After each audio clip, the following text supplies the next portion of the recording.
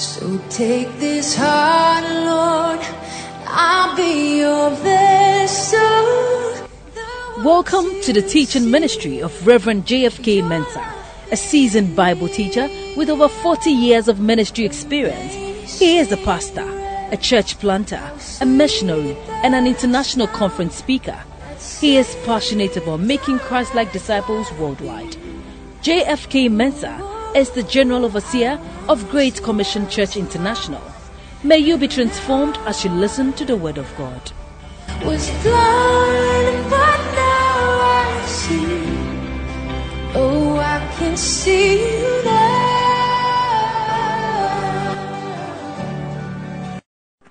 Heavenly Father, we thank you for this army you are building.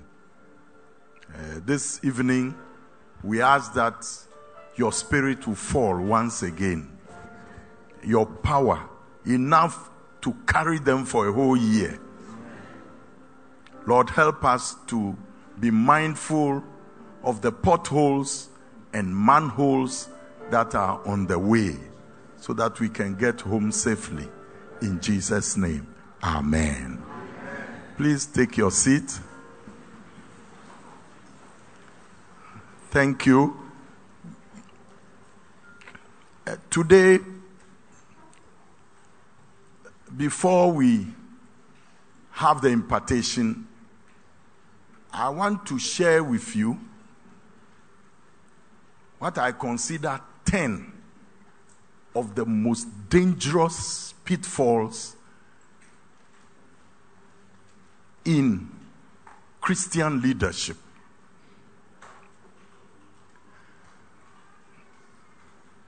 I entered into full time ministry in 1978 and I was ordained 1979.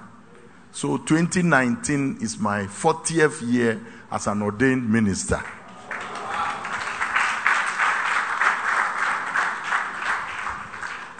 So I believe that the points I'm sharing are not just theory. They are they are challenges. You know, for 12 years, I was the Volta regional pastor for my former church and our headquarters was in Tema. So I drove to Tema to give my accounts and reports every month for 12 years. So I knew every pothole on the road from Hohoe to Tema. I could close my eyes and tell you that there is a pothole here, there's a pothole here. You have to mind this one.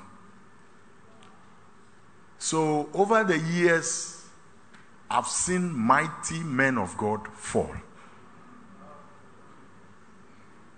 And I've seen people, nobody gave a dog's chance in ministry, rise up.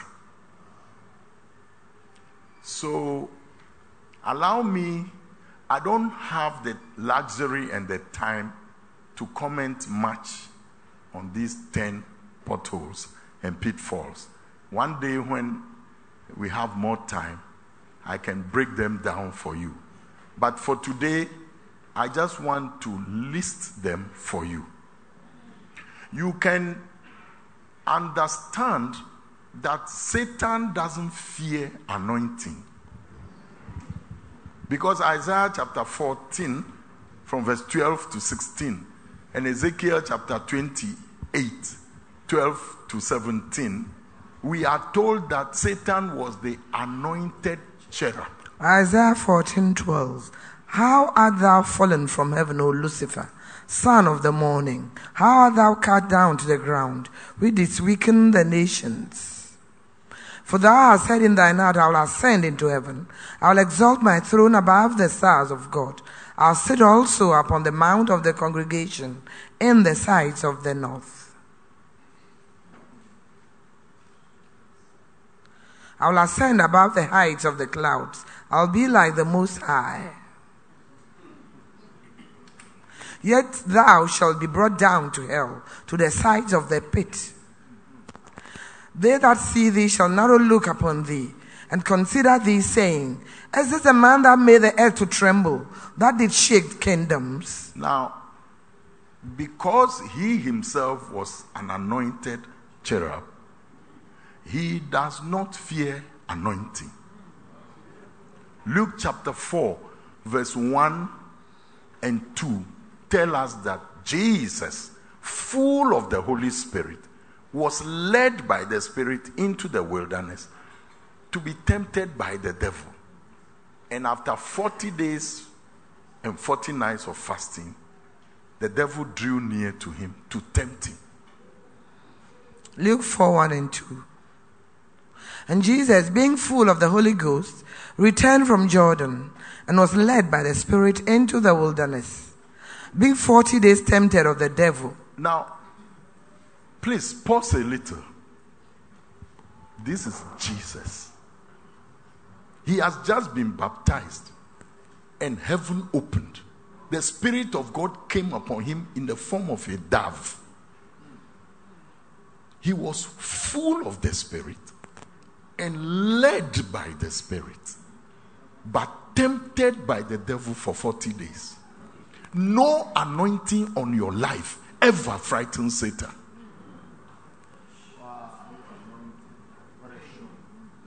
In fact, the Luke 4:13 says Satan left Jesus for an opportune time.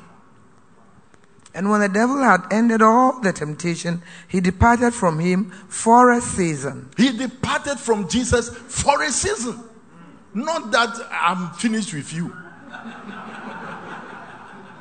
So you need everlasting watchfulness if you want to stay on the road.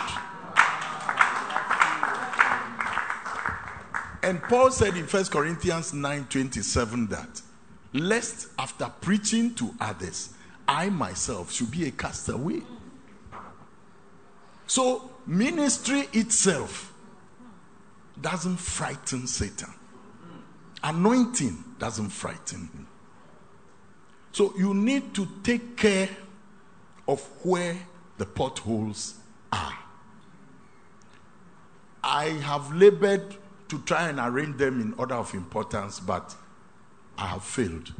So the list I'm giving you is a raw list.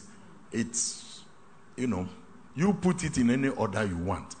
But number one is putting ministry above your intimacy with God.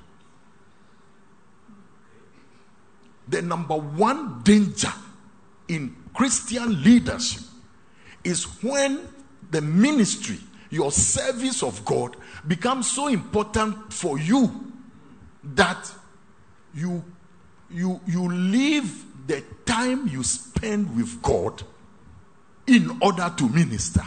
You have failed. In Luke chapter 10, from verse 38 to 42, we are told about the story of Mary and Martha. Jesus was a guest in their home. And Martha was busy about cooking, about washing, about you know cleaning up the house, about serving Jesus. But Mary, her sister, sat at the feet of Jesus listening to Jesus. And after some time, Mary was distraught. She, she came, Master, don't you care? My sister has left me alone to do all the serving. She's sitting comfortably at your feet. Tell her to help me now. And Jesus said, Martha, Martha, you are preoccupied with a lot of service. But one thing is needful. And Mary has chosen that better path. It will not be taken away from her. Yeah, you can read it. 38 to 42. Luke 10 38 to 42. Now it came to pass, as they went, that he entered into a certain village, and a certain woman named Martha received him into her house. And she had a sister called Mary, which also sat at Jesus' feet and heard his word. But Martha was cumbered about much serving, and came to him and said, Lord, dost thou not care that my sister had left me to serve alone? Bid her therefore that she help me. And Jesus answered and said unto her, Martha, Martha, thou art careful and troubled about many things.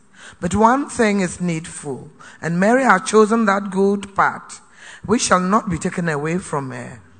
Jesus himself, in Luke chapter 5, verse 15 and 16, we are told that great multitudes came to Jesus to hear him and to be healed. But he himself often withdrew into the wilderness to pray. Luke 5 15, 16. But so much the more went there a fame abroad of him, and great multitudes came together to hear and to be healed by him of their infirmities.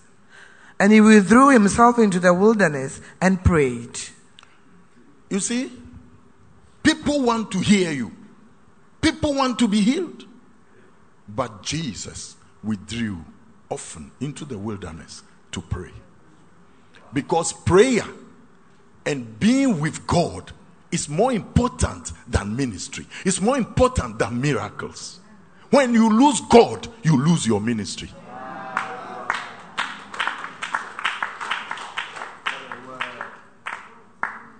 So there are times I don't pick my mobile phone because I am with the general manager of the universe. Whatever pressing news any church member has, it's okay. I'm with the manager. I want to please him first. Number two, popularity versus Christ like character. Leadership is enhanced by followership.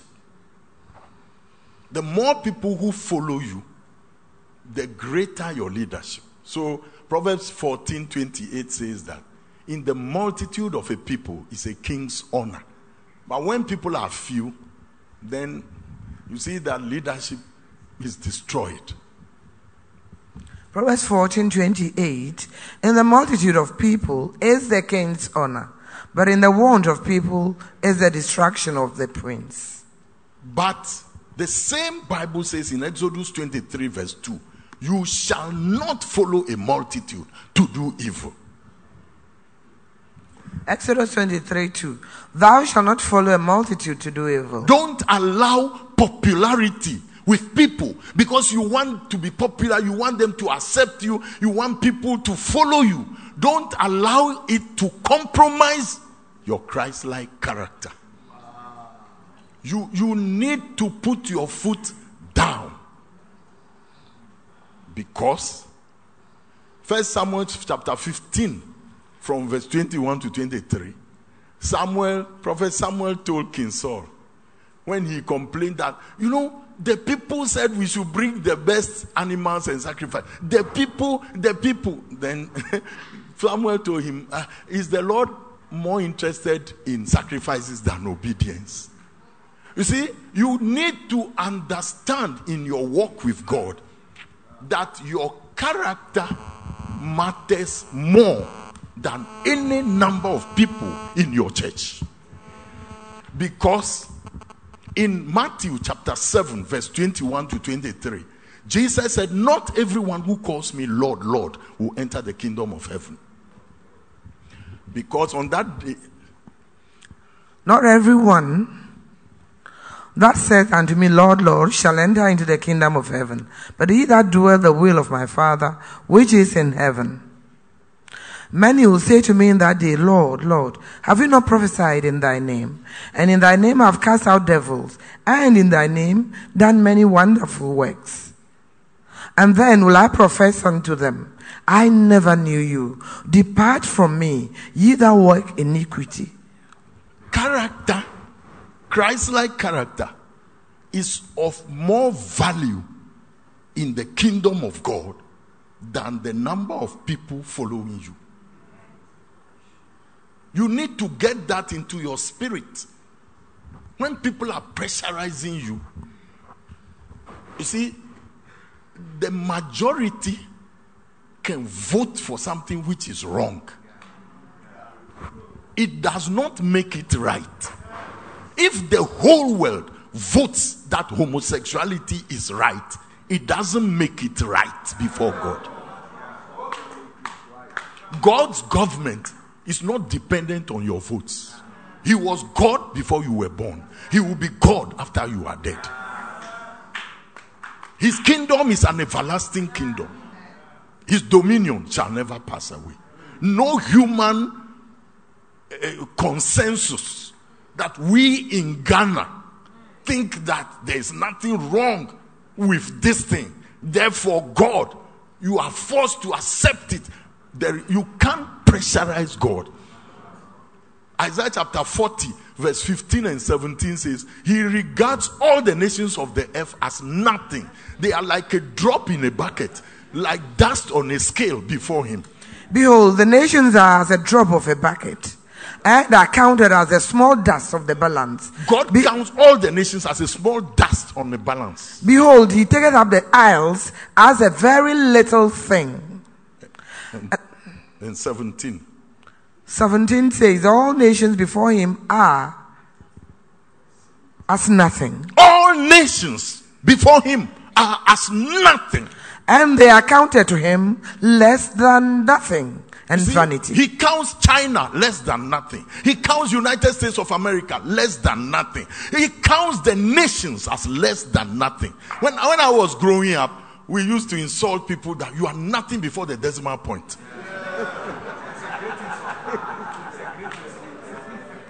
so all the nations, United Nations, are nothing before God.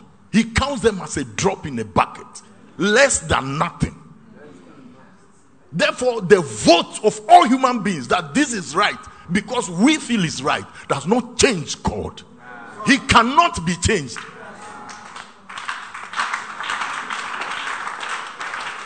So, though we live in a fast changing world, we serve an unchanging God.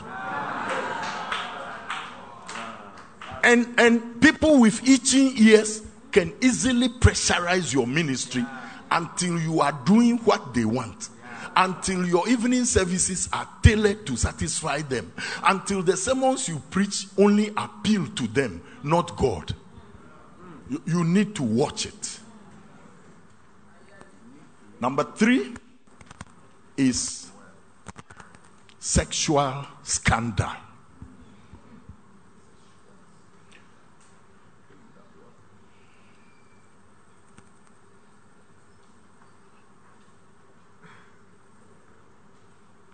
your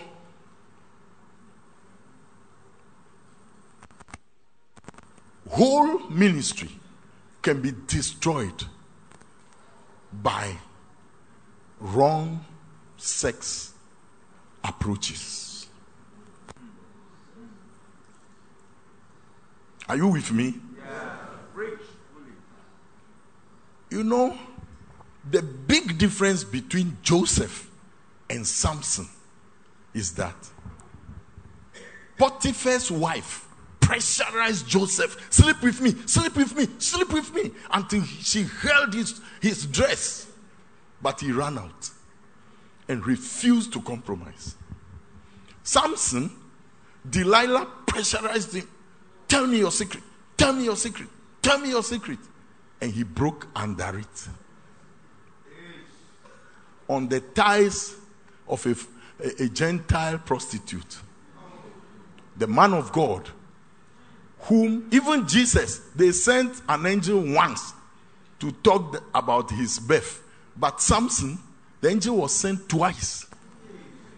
He was anointed from the womb. And by his youth, he was already carrying power. That's what Judges chapter uh, uh, 13, verse 25 says. Even as a young man, he was flowing in the anointing. Hey, clap for the technical team. They are really doing a good job. And the Spirit of the Lord began to move him at, at times in the camp of Dan between Zorah and Eshtaol. As a young man, he- you see, he took a lion and tore tore it under anointing. He killed 1,000 people with the jawbone of an ass. That's anointing. If that's not anointing, I don't know the meaning. But on the thighs of a woman, they shaved him sakura. And he was grinding corn for his enemies to make akple. They removed his eyes. And Judges chapter 16, verse 20 says that the Spirit of the Lord left him and he did not know. And she said, The Philistines are upon thee, Samson. yes. And he awoke out of his sleep and said, I'll go out as at other times before and shake myself. And he wist not that the Lord was departed from him. The man of God did not know that the Lord was departed from him. One day, one day, one day, one day, that you're chasing girls, it will be too much. One day. You see? It wasn't the first day David started chasing women that God punished him. You see? He was already married to Michal, but then he took uh, uh, Ahinoam. Then he took Nabal's widow. Then, when he was made king in Hebron, he multiplied more wives. Then he was made king in Jerusalem. He took more wives. And not only that, somebody's wife having her bath. So, because of King David, women should not bath.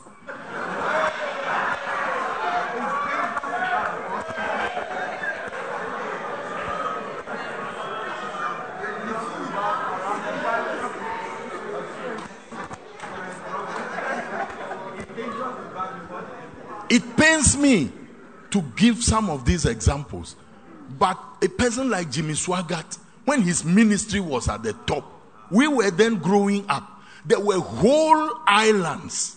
The chief of the island and all the villagers would take sit before the television when Jimmy Swaggart is preaching, be weeping and just. So when he fell, the damage cannot be calculated with any computer. You see, Jim Bakker, his fall, it made it said that many Americans for their generation didn't trust any televangelist. If saw any man who was an evangelist on television, they believed that he was messiah.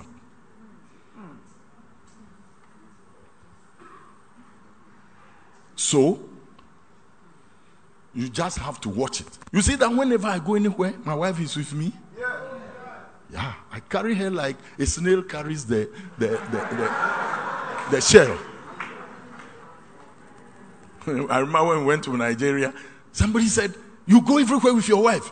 Your ministry. What did she say? You will go far. You will go far. You will go far. You will go far. When you see me, you see my wife because she is my protection. Some women, you know, by the grace of God, Second Peter 2:14 says they have eyes filled with adultery.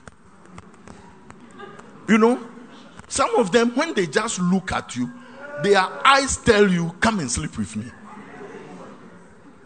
Of course, it's not only women. There are some men too like that. But I am I, I, I am preaching, so allow me. So when she is around me, she is my shield and buckler. And such women have no access to me again because my wife is around.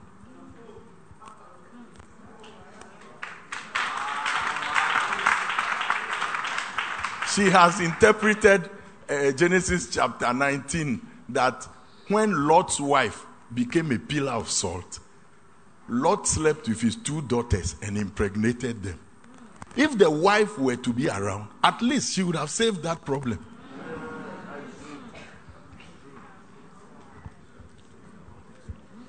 So, please, don't let it happen before you repent. You, you, you can troubleshoot and know that no, no, no, no. Where I'm going now is not correct. And please, with all uh, what humility. And my sisters, the lady pastors, you, you, you need to keep closely under the authority of your husband to save yourself and your ministry. We've seen too much. We had a lady who had a powerful healing gift, and she, you know, people. And a man arrived that same day and said, The Lord spoke to me that I should come and marry you. He succeeded in sleeping with that prophetess that day. You say, Oh. So, some of the things I, I just say, Lord, have mercy on us. So please build enough hedges around yourself so that there is no sexual scandal. Because even if the thing you haven't done it, if I see you coming out of my bedroom and you are in Jakoto and my wife is in Pioto, and you say, I haven't done anything, I haven't done anything, it's difficult to trust you. You see, just because of the, you see, you to see you doing, amen. amen. Number four is financial scandal. Financial scandal. First Timothy chapter 6, verses 6 and 7 say that we brought nothing into this world. And it is true, we can take nothing out. Therefore, godliness with contentment is great gain. First Timothy chapter 6, verses 6 and 7. Seven. But godliness with contentment is great gain. For we brought nothing into this world. If anybody came into this world with dollar or a car, please get up. If you arrived here with a piece of land, get up, let's see you. We were born naked, and nobody is burying you with your four wheel drive or piece of land. You have all the papers entitled it, but they won't bury you because it's not yours. If you take anything out of this world, you are a thief. You brought nothing. If I came here and I didn't have any uh, uh, camera, and I'm living here and I'm taking camera out, am I not a thief? You came naked into this world. You will leave this world naked. Therefore, think, be wise. You, you need to wise up. You cannot carry property from this world. Don't allow financial, material things to steal your heart. You see, you need to discipline your heart so that you will live a simple lifestyle. And it is certain we can carry nothing out. Are you with me? Yeah. Jesus put it bluntly in Luke chapter 14, verse 33. He said that anybody who cannot forsake everything he has cannot be my disciple. Luke 14 33. So likewise, whosoever he be of you that forsaketh not all that he hath, he cannot be my disciple. This is the trap that the rich round ruler fell into. He couldn't make it. You know, because you are a, a pastor, you are a spiritual leader. Some of the girls, when you say come, they won't mind you. If they say, Pastor says come, they will come.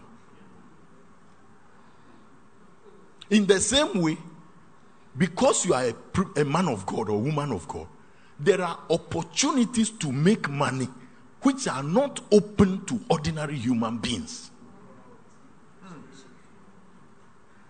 You see?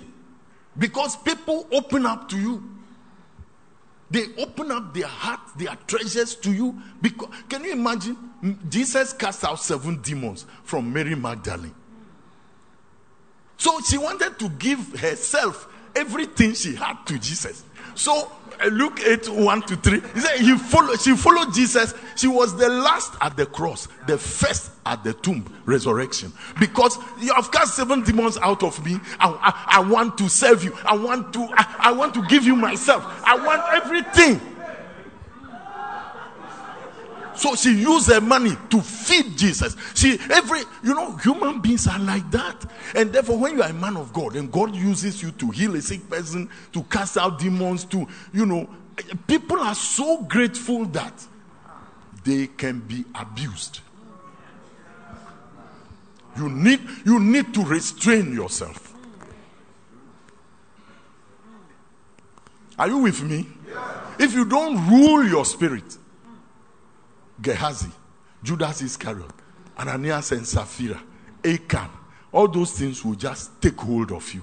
And before you know what, you are never satisfied. I don't know.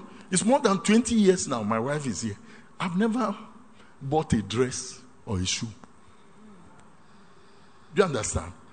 Last time I went and warned some of the people not to give me any uh, shirts or buy anything for me for one year. You know, because I have enough. But recently they sent some three suits again. I have one body. Eh? If, if, if, I, if I wear two suits now at the same time, people will say I'm mad. My wife's uncle was a very important official in the United Nations. He had almost 200 suits hanging, Brand new ones. brand new ones, when he had a stroke.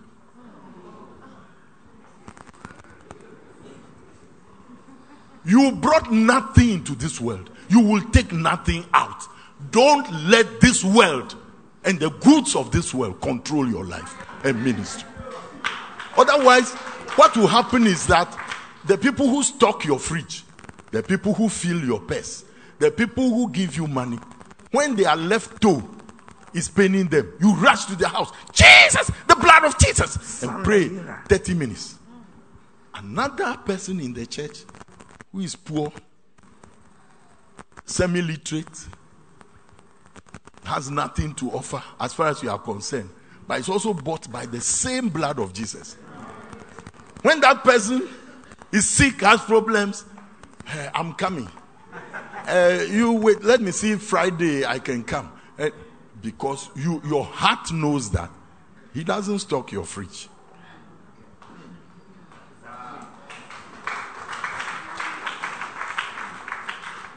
And what happens is they gag you. The rich people in the church can become your Holy Spirit.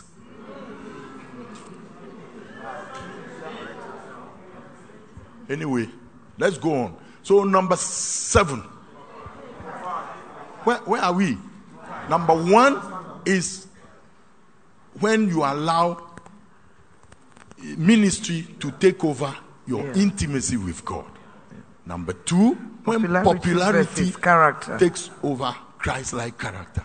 Number three, sexual scandals. Number four, financial scandals. Okay. Number five is pride. Pride.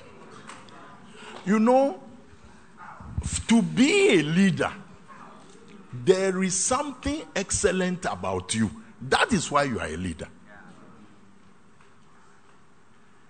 This is it. So, already the grounds have been set for you to be proud. Because you know that you sing better than everybody in this church. You know you preach better than everybody in this church. You know that you are more beautiful than everybody in this church. So, because of that, your heart becomes too full. So, for the minister, after the, the worst of all is pride of grace. You have a grace like healing, like prophetic anointing. It's a grace. Everybody knows that it's a grace. But because of that, you are proud. It's a grace, but the grace God has given you has made you proud. First Corinthians chapter 4, verse 7 says that what do you have which is not a gift? And if it's a gift, why are you boasting about it? First Corinthians 4 7. For who maketh thee to differ from another? And what hast thou that thou didst not receive? Now if thou didst receive it, why dost thou glory as if thou hast not received it? You must understand that God resists the proud and gives grace to the humble. That's James chapter 4, verse 6. Some things which happen to us, it is not Satan, it's God Himself who is resisting you in life because of the way you are carrying yourself. James 4 6 and 7. But he giveth more grace. Wherefore he said, God resisted the proud, but giveth grace unto the humble. Did you hear that? God resists the proud. First Peter 5 5 also says the same things. Verse 5 and 6. First Peter 5, 5 and 6. Likewise, ye younger, submit yourselves unto the elder. Yea, all of you be subject one to another, and be clothed with humility. For God resisted the proud, and giveth grace to the humble. So, Humble yourselves. you can, you can have a ministry that God is resisting. You, you need to understand. Jesus said in Luke 14, verse 11, that anyone who exalts himself shall be abased. Anyone who abases himself shall be exalted. He himself, okay. Luke 14, 11. For whosoever exalteth himself shall be abased, and he that humbleth himself shall be exalted. Then, number six now is the extremes of what we call elation and discouragement. Eh, in ministry, when God gives you a tough ministry, you can work, work, work, work, work, fast, fast, fast, fast, fast. Pray, pray, pray, pray, pray. Go to conference after conference. Steady, steady, steady, steady, steady. But you look at your ministry, it's not, nothing is happening. You see, I, am not sure, but let's check it. Revelation chapter 2, verse 13.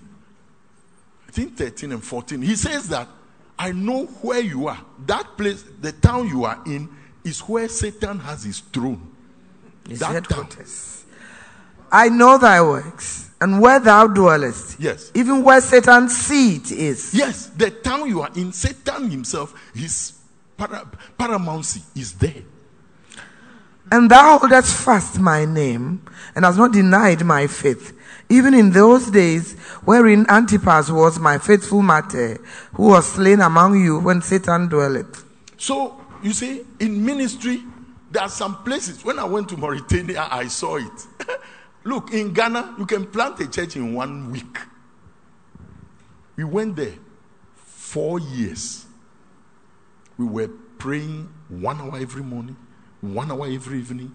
Every Sunday, we gathered pastors to pray in my house from four to six. We fasted every Tuesday for four years, and we baptized four Mauritanians.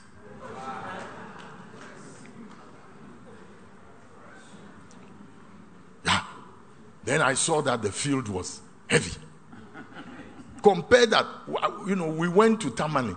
I'd never been to Tamale. We wanted to plant a church in Tamale. Two, three of us. We just boarded transport here, got to Tamale about 4 a.m., prayed for one hour at the park. And then in the morning, we entered the, city and started speaking to people. By the end of the day, we had found, you know, one of the, the high court judges there. I baptized him and prayed for him for Holy Spirit. And so he said, Oh, my house is here. Anything you want to do. And by the end of the day, we, and the church has been there now for over 30 years in Tamale. So in Ghana, it's easy to plant a church. But there are some places you know that you are laboring. And you see, it is easy to become so discouraged that Moses told God in Numbers 11, Kill me, let me die. Is this, are these my children? Are, they, they are troubling me. I want to die. And in First Kings chapter 19, uh, Elijah, he went 40 days and said, I want to die. After he brought down fire from heaven. Ministry can be such that you move between very high spirits of breakthrough to very low depths of discouragement because the things going on you can't understand. You know, you've done evangelism, you've gone house to house, you've prayed, you've had all night, you are expecting 40 people in church, and 15 show up. You are like, what, what can I do again? Oh. So, it can put a certain pressure on you, and you, as a minister, you can have depression. I remember when I went to Australia, they told me that half of all the pastors in Australia resigned because the way you see ministry was going, they couldn't match it. That's it. Anyway, number seven neglect of family. Neglect of family. It is clear in First Timothy chapter 3, verses 4 and 5 that the way to measure your Christian leadership is by looking at your wife and children. Let's read it. The litmus test for your ministry is your family life. One that ruleth well his own house, having his children in subjection with all gravity. For if a man know not how to rule his own house, how shall he take care of the church of God? If a man know not how to take care of his own house, how, how, how, how, how, how, how shall he take care of the house of God? So many of us, because of fasting, praying, and you know, you have some some sisters in the church who really like all night, and uh, you know, then, who is your wife? Your children. Oh, don't mind them. Look, the Lord says we should love the Lord with all our heart. Your ch- wife and children are the litmus test for your ministry. Any man of God, listen to the wife. When you are preaching and your wife says, and people are saying, I receive it, I receive it, amen. And your wife is like, Your ministry is finished. Your ministry is finished. Did you hear me? If you if you don't believe me, go and read about Eli in First Samuel. Go and read about Sam, Samuel. Go and read about David. The children of those homes made God swear to Eli that no old person will ever be in your house as long as I live. If there's any curse bigger than that, I want to know. Samuel, he had so much integrity that he stood before the whole Israel. said, From my youth till this time, I have judged you. If I have accepted bribe from anybody, stand up. And the whole Israel was quiet because of integrity, clean hands. But his children were worse than goats. And Israel was forced to ask for a king because Samuel's children were accepting bribes. Look at David. Eh? A man after God's heart. But look at his house. Eh? Look at Amnon raping the sister Tamar. Look at Absalom killing your brother. That, that type of uh, uh, uh, sleeping with your father's wives, 10 of them on the rooftop. You, a son of a man after God's heart. How can you do that?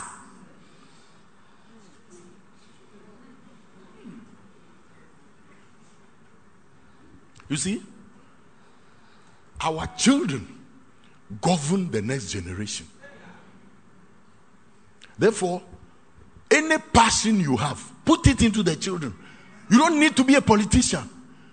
You don't need ever to walk into parliament, but you can control Ghana by your children. Look at the Kennedys. They are from the same house. Look at George Bush and his son. Two presidents from one house. Yeah. Because your children matter.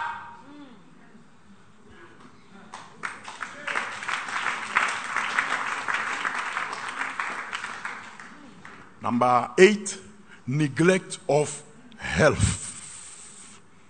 Neglect of health. Neglect of health. Many of us, because of passion for God, we eat anything, anytime. We refuse to drink water. We don't take vegetables and fruits. We don't have time for exercise. We break all the rules. We take more sugar than we should.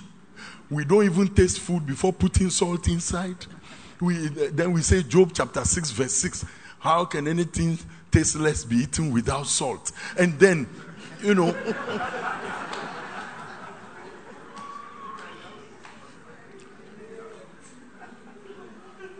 what happens is that your body is the temple of the Holy Spirit.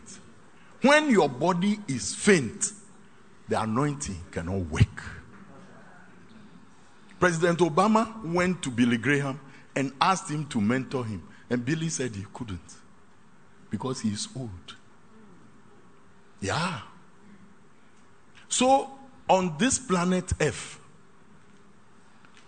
you need to work on your body and take that care of it, which will cause the spirit to use it far. Personally, I've noticed that when I'm too tired, the revelations I receive are not reliable. yeah. They are not reliable because I am too tired.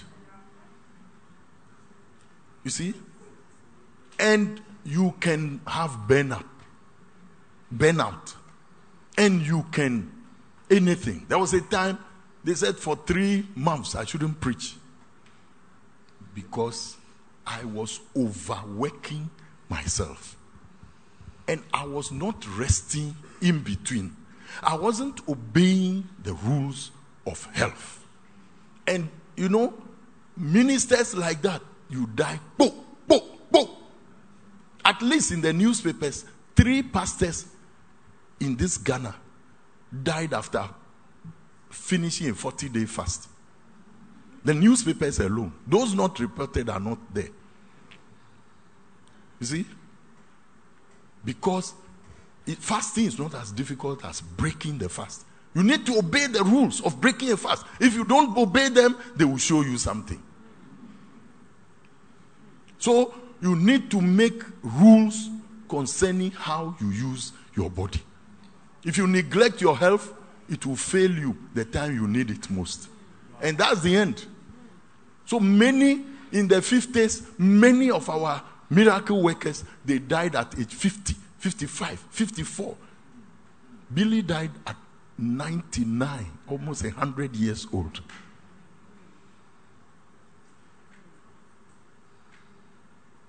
Romans chapter 8, verse 11 says that the spirit who raised Jesus from the dead dwells in our bodies to quicken, make alive our mortal bodies. Therefore, every Christian has more resources for living longer than the average unbeliever.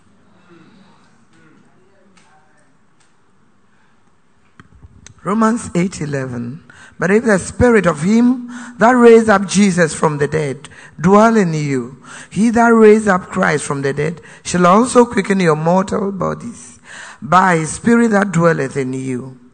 But number 9 in the potholes and the dangers, pitfalls of Christian leadership is plateauing. Plateauing. You know, you can, as a minister, get to a place where you think, what kind of thing man no, no, no see before? So you stop growing spiritually. You stop working on yourself. And because of that, you plateau. You see that, you know, you are still preaching. You are still healing the sick, laying hands on people, Holy Spirit baptism. But you, you are stunted. You have come to a place where you, you, you are not growing again. That's it. The hunger and thirst for God, which was in you before you came into ministry, has left. Let's read Revelations chapter 2, verses 4 and 5. Revelations 2 4 and 5. Nevertheless, I have somewhat against thee, because thou hast left thy first love. Remember therefore from whence thou art fallen, and repent, and do the first works, or else I'll come unto thee quickly. I'll remove thy candlesticks out of his place, except thou repent. So, this state, fortunately, nobody can know except yourself. It's like a man and the wife at home. When you notice that your wife doesn't love you as she used to do, only you can tell. Because she will cook, fetch water, iron your clothes, wash the things, take care of the children. Everything is going on well. But you yourself know between the two of you that some fire in the love is gone. So, after some time of being in ministry, some ministers are like that. They, they've lost it. You see, that thing, first love, which makes them, you know, be on fire for Jesus and want to just draw near to Jesus for himself is gone. All the rest is ministry. You, you are just doing the things mechanically, but you, you, you something is not there. Now, if you get there, only you can know. Because deep inside you, you look back at the time you were born again, the joy of salvation, the types of things you were doing, and so on. It's not, even if you are old, passion can be recognized. I, I am old now, I'm over 63. I was 65, I, oh, yes, 65 this year. you know, but it does not change my passion. You see, the zeal, the passion I had for God when I became born again is still there. God has given me grace. I've never backslided in my life. You see? But only you can tell if the fire is gone. Then you are plateauing. And when you are plateauing, you yourself know that from day to day you are just jogging. So, anointing service, no anointing service, it doesn't really do anything to you. Because the state of your heart at this time is beyond cure. You, you need to wake up in yourself and put more fire into what you are doing. Even if you have truth, but it's cold truth, it kills. It must be truth on fire. It is that which people who meet you can feel. They feel the, the white heat of truth on fire. And then the last, number 10, which I want to put up for today in our walk with God as what I find very challenging is anger, bitterness, unforgiveness, vengeance, vendetta, hatred. Yes. Why? Because there are some church members and leaders who set themselves to resist you, to oppose you, to badmouth you, to malign you, to slander you, to murmur, grumble about you, to complain. Everything you do, they have something negative to say about it. And a time comes, if you don't watch your spirit, you will find out that they are annoying you to some extent that you, you, your anger shows on your face. And then when you keep it in, you become bitter. And unforgiveness creeps in. And before you know what, you want to curse.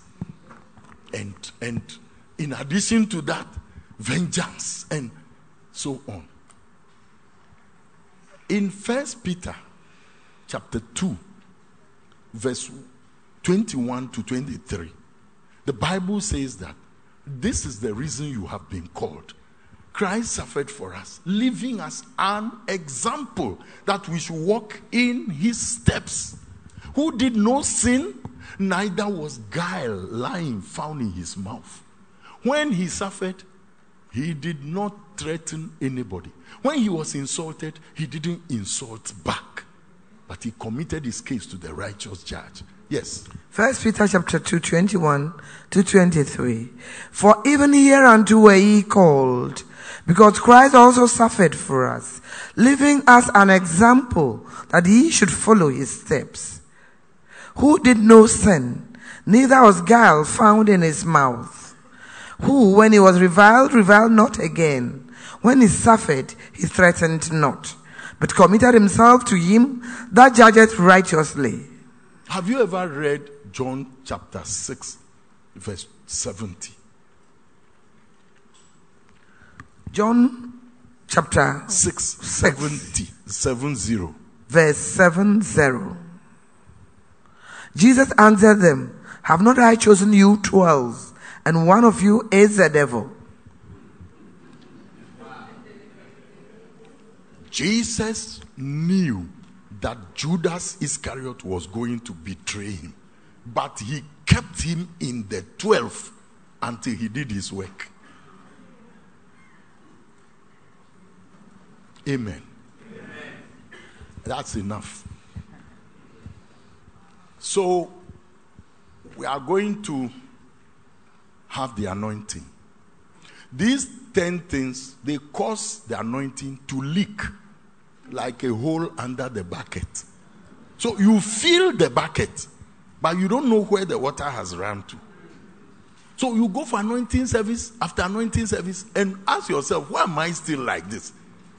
Powerful men of God have laid their hands on me, but look, it is because of the hole. yes, Hebrews chapter 12, verse 1 says, Therefore, having such a great cloud of witnesses, let us lay aside every weight and the sin which besets us, and run with patience the race that has been set for us. Looking unto Jesus, the pioneer and perfecter of our faith, who for the joy that was set before him, he endured the cross, despising the shame. Now he is sitting at the right hand of God. You have not yet resisted sin to the shedding of your blood. Hebrews 12 1 and 2. Or, seeing we also are compassed about with so great a cloud of witnesses, let us lay aside every weight and the sin which doth so easily beset us, and let us run with patience the race that is set before us. Looking unto Jesus, the author and finisher of our faith, who, for the joy that was set before him, endured the cross, despising the shame, and is set down at the right hand of the throne of God. Now, um, the way we are doing this anointing service is that I'm not going to spend a long time on anybody. I'm just going to touch you, anoint you, that's all. Now, you need to understand that God is searching for men and women who will dare to believe Him for impossible things so that He can use them to do those things. You see, if God wants to bring water out of a rock, He needs to get somebody who believes that water can come out of a rock. Then He can use that person.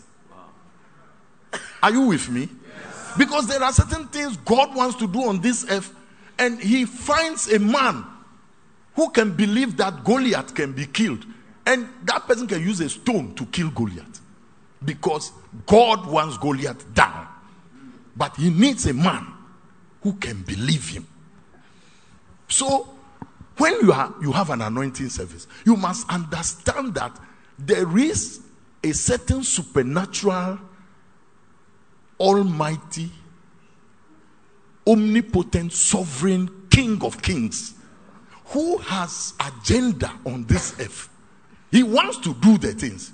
He knows you cannot do them, but He wants to do them. He needs you so that uh, God can part the Red Sea.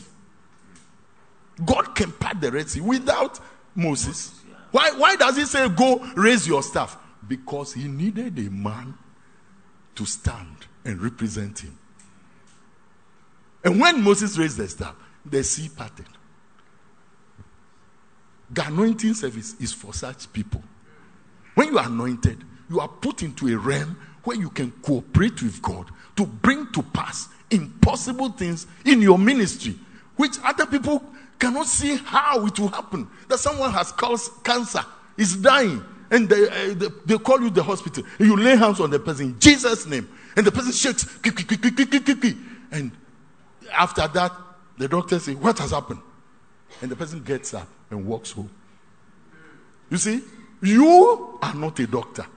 You are not injecting the person, but you laid hands and God used you. That's what anointing does. But the second thing the anointing does is that you, as a human being, your best is just human. Your best in this world, eh? your brains for school, your energy, your best is human best. But when the oil comes in, God accomplishes more than your best.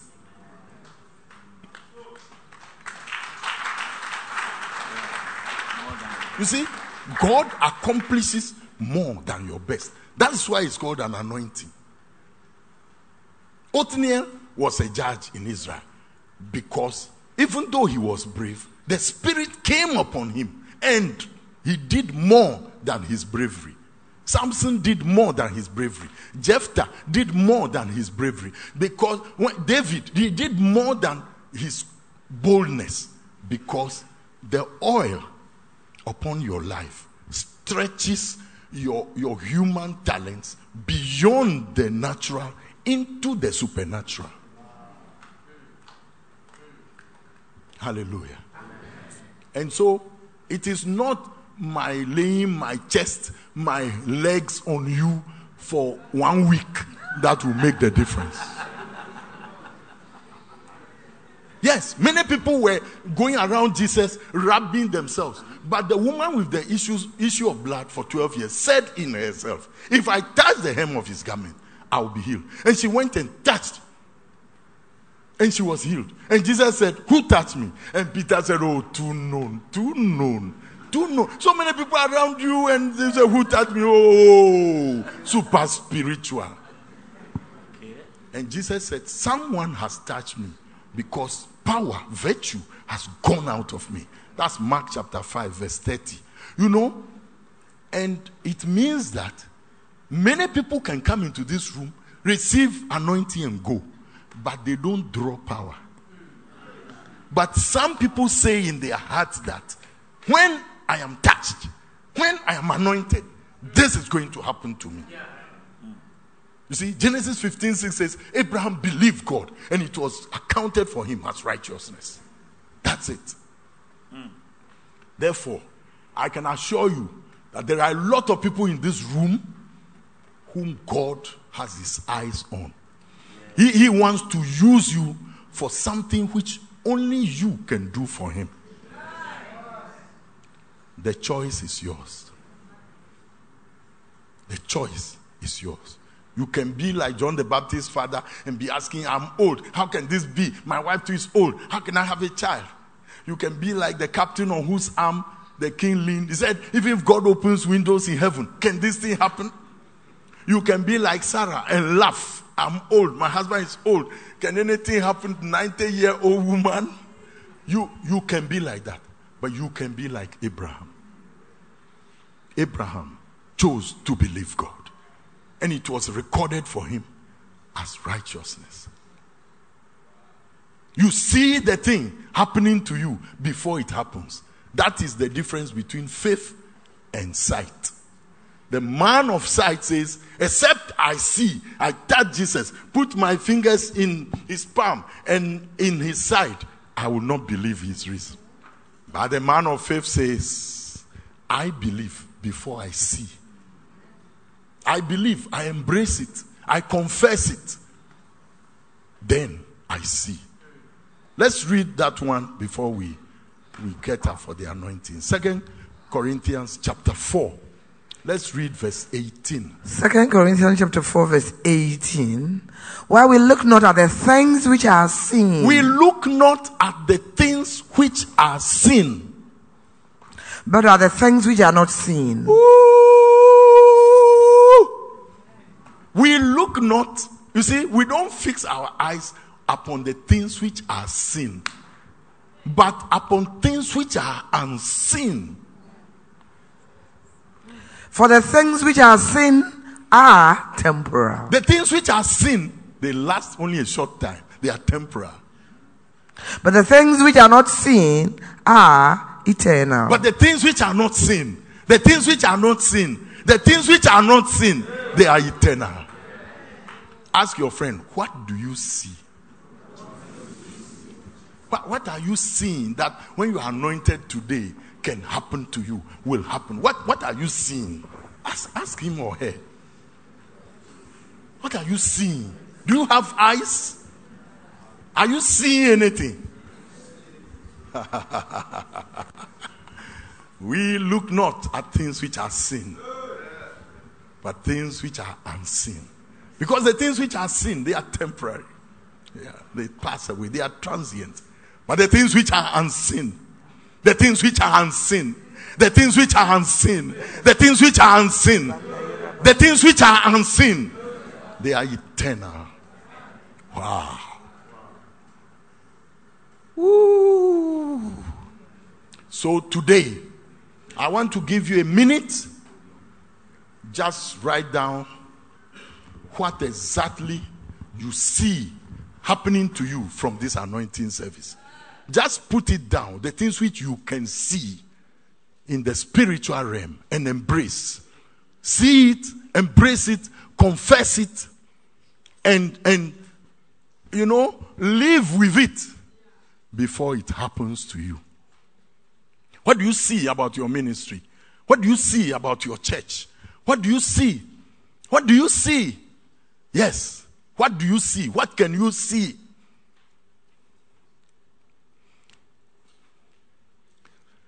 I, I will need the, the worship team.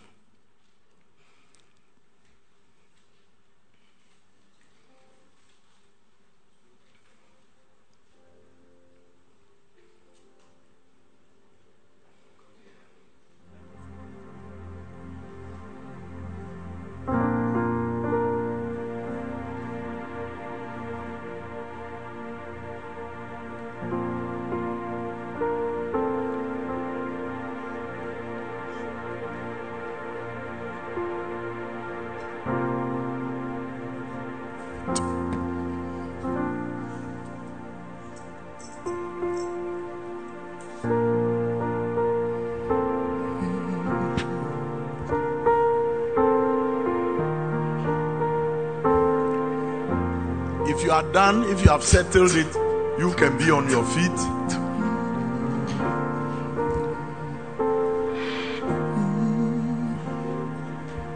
Yes.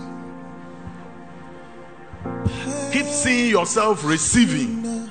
Keep seeing yourself walking out of this room with that oil, with that anointing. Yes.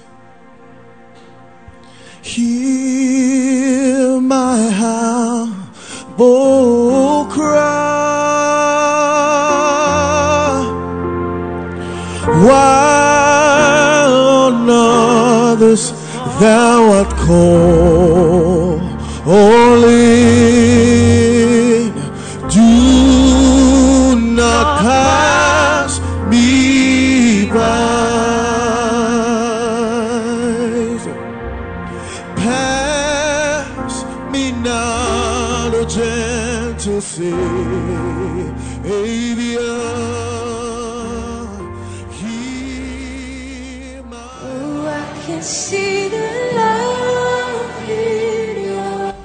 JFK Mensah Ministries on Facebook and YouTube and invite others to listen to his podcast.